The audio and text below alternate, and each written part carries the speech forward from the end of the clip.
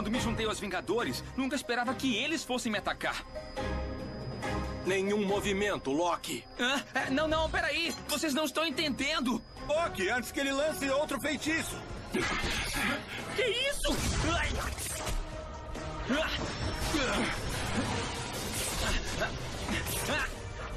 Claro que o Loki trocou a gente de volta antes que eu falasse a verdade.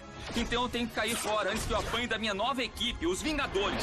Homem de Ferro, Viúva Negra, Falcão, Gavião Arqueiro e Capitão América. E ele tá prestes a enfeitiçar os meus amigos. Vem cá, é sério que eu falo prestes? Sério. Saiam de perto dele.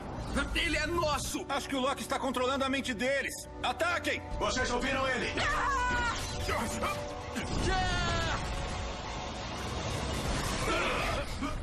Tá bom, já chega disso. Você tem que vir com a gente. Ah!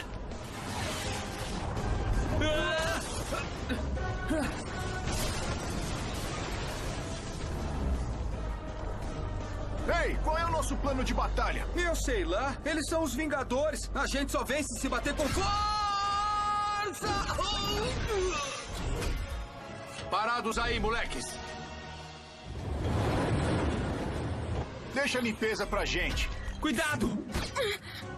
Tigresa, pega a viúva negra. Ela já está com um ferrão a menos. Vai conseguir ganhar dela. Eu resolvo isso. Powerman reinicia a armadura do Homem de Ferro batendo nela com alguma coisa grande. Deixa comigo.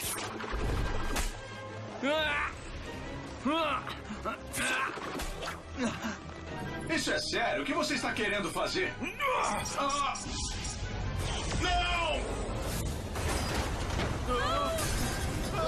Loki nunca teria salvo vítimas inocentes. Pegamos o cara errado.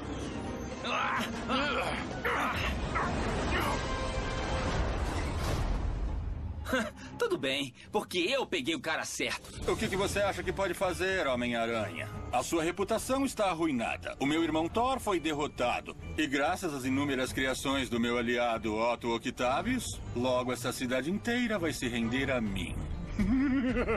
vocês perderam. Todos vocês.